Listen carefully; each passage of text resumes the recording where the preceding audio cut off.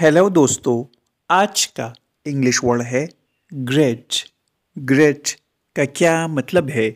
आइए सीखते हैं आज की इस छोटी सी वीडियो में।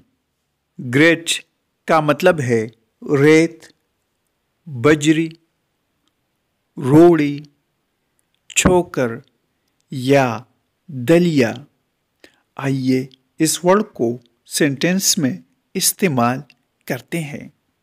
A piece of grit got and to my shoes इसका मतलब है, एक टुकड़ा मेरे जूते में लगा। पीस मीन्स टुकड़ा।